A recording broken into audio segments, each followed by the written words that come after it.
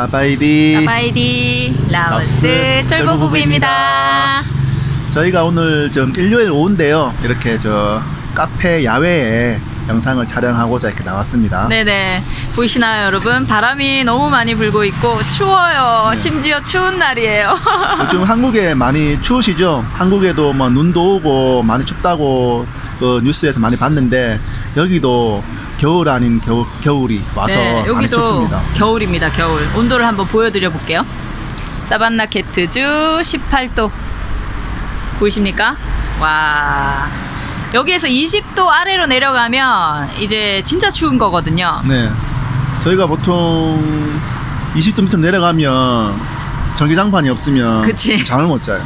새벽에 너무 추워요 저희도 여기서 한 몇 년 살다 보니까 이제 현지화돼서 몸이 어, 이제 그 음. 음, 전기장판 없으면 잠을 못 자요. 맞아요 맞아요 아침에 아침에 일어나서 집안 온도를 보면 20도까지 내려가거든요.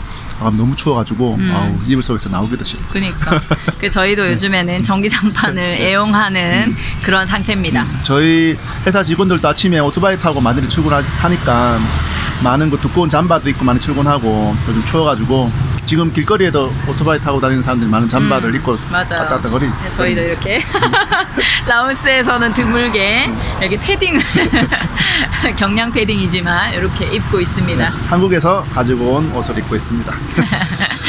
저희가 이번 영상에서는 저희가 라오스에서 생활한 지 3년이 넘고 있는데 3년이 넘게 생활하고 있지만 아직도 적응 안 되는 라오스 에피소드 몇 가지를 네. 말씀드리고자 합니다. 네, 황당하고 익숙해지지 않는 시간이 지나도 익숙해지지 않는 "헉, 이런 일이 그런 에피소드 이번에 들려드릴게요. 네. 예전에 제가 한번 얘기한 것이 있어서 제 위주보다는 이제 저희 영 PD님 위주로 한번 말씀드리고자 합니다. 네, 첫 번째 에피소드 말씀해 주세요. 네, 첫 번째는 저희가 아마 말씀드린 적이 있을 것 같아요. 근데 제가 여기 이제 와서 아이들 픽업을 해야 되니까 아무래도 차를 처음부터 운전을 했거든요.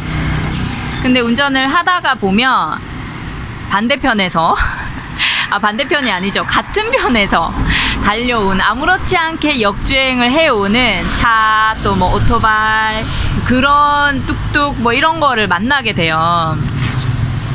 이게 처음에는 너무 놀라서 이게 지금 실화인가 하고 진짜 너무 놀랐던 일인데 지금도 사실은 익숙해지기는 힘든 것 같아요. 왜냐하면 우리나라에서는 뭐 가끔 뭐 뉴스에서 이제 뭐 역주행 같은 거 고속도로 역주행 나오면 좀 뉴스거리가 되고 이렇게 놀라운 일이지만 사실 평일 낮에 도로에서 역주행해 오는 차는 만나기 힘들잖아요. 근데 여기에서는 이제 아무렇지 않게 얼굴빛도 안 변합니다.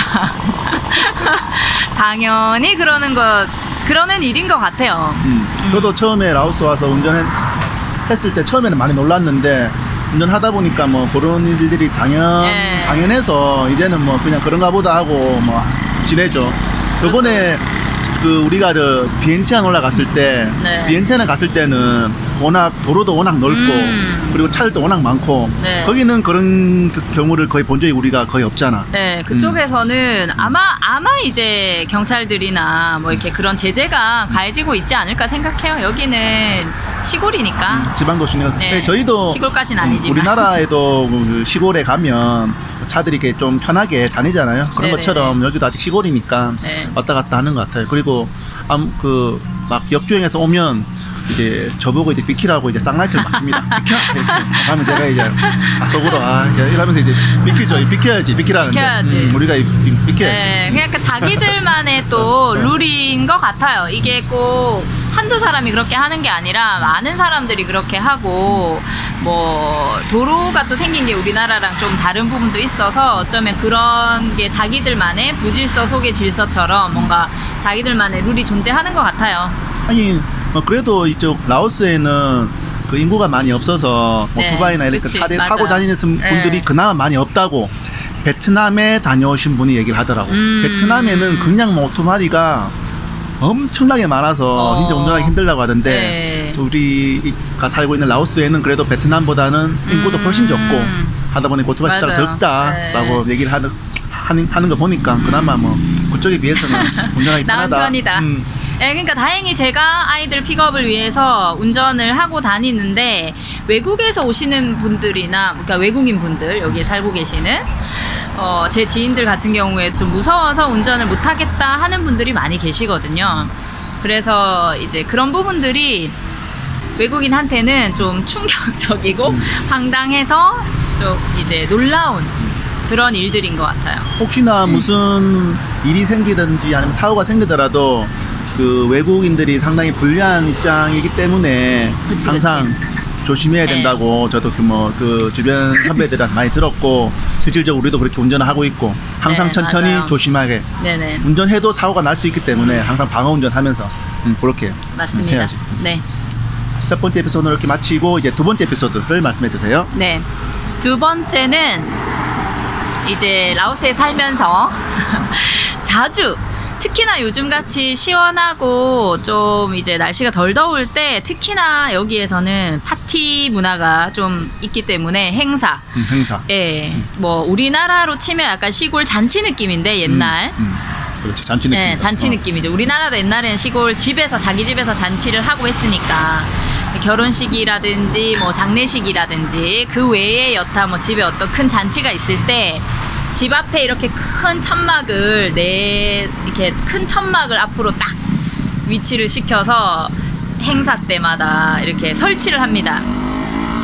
근데 그 이제 천막이 천막이 기본적으로는 그래도 한 1차선만 막는 그런 일단은 천막인데 집 앞에 인도를 넘어서 음. 보통 차선까지 조금 침범하는 그 정도. 그쵸. 그 정도에서 네. 이제 끝나지. 음. 예, 그 그런데 종종 이라기보단 좀 자주라고 볼 수 있는 예, 자주 이제 차선을 다 차지한 오고, 오고 가는 차선을 다 막는 네, 천- 오고 가는 차선을 다 차지한 어, 어. 이게 넓게 음. 천막을 그러니까 보통은 한 개 치는데 두 개 다 쳐서 이제 도로를 꽉 다 채우고 어.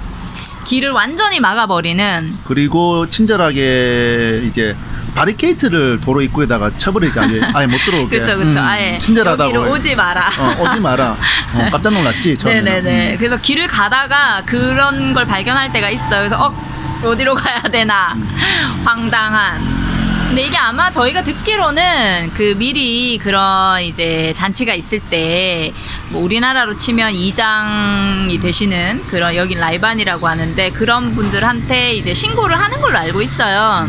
근데 저희는 이제 그런 사전 정보를 얻기가 힘드니까 현지인이 아니라서 그래서 무슨 일이 어느 집에서 있는지 모르다 보니까 이 길을 가다가 심지어 저희 집에 가다가도 덜컥 그런 황당한 이제 사- 상황을 만나게 되는 거죠.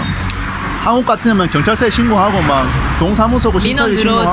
난리 네, 나겠지만 네, 네. 여기는 뭐 다들 그냥 그 어, 그냥 이해하시고 그렇게 다니는 네. 것 같더라고요. 근데 아마 미리 신고를 하는 거라서 본인들은 다 왜냐하면 집집마다 다 그렇게 행사를 하기 때문에 그게 이상한 일이 아니에요 여기 사람들은. 근데 저희는 이제 외국인이니까 이게 가능해?라는 그런 생각이 이제 순간순간 들다 보니까 아직도 사실은 익숙하진 않아요. 길을 완전히 막아버리면 아니 어디로 가라는 거야라고 좀 황당해지는 그런 일인 것 같습니다. 저희가 영상에 왕복 4차선 되는 영상에 한쪽 길 막아놓은 거를 영상 찍어놓은 네네네. 거를 예전에 영상 걸어놓은 게 있는데 네. 여기 영상에 같이 넣어드릴게요.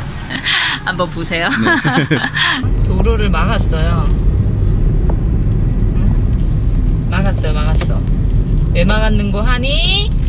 짜잔. 파티가 벌어지고 있습니다, 파티.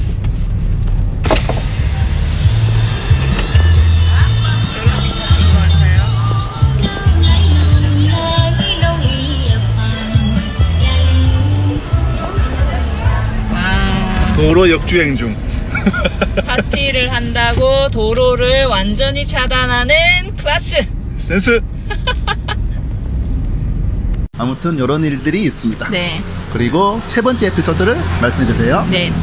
세 번째는 어 이게 저희가 또 운전을 하는 사람이기도 하고 기본적으로 그리고 아이들을 키우는 이제 부모가 되다 보니까 좀 겪으면서 약간 너무 놀라고 놀라고 좀 무섭기도 한 그런 일인데 이제 우리나라에서는 일정 연령이 지나 뭐 성인이 돼야 운전도 하고 막 이렇게 하는데 여기에서는 중고등학생 또 심지어는 초등학생 정도 되는 아주 어린 아이들이 오토바이를 운전을 하는 일이 굉장히 많습니다.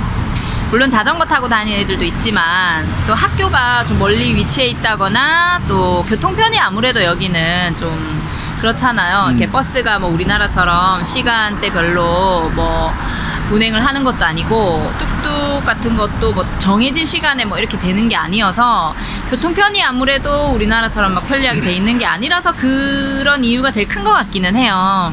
근데 그렇다 하더라도 부모가 뭐 데려다 주고 이런 게 아니라 자기 어린아이가 직접 운전을 해서 심지어는 저희 딸이 지금 한국 나이로 초등학교 4학년인데 초등학교 3, 4학년쯤 되는 되어 보이는 어린 아이들이 막 자기가 운전을 해서 오토바이를 이렇게 뭐 학교에 가기도 하고 그 외에 친구들하고 어울려서 놀기도 하고 그럴 때 직접 타고 다니더라고요. 음.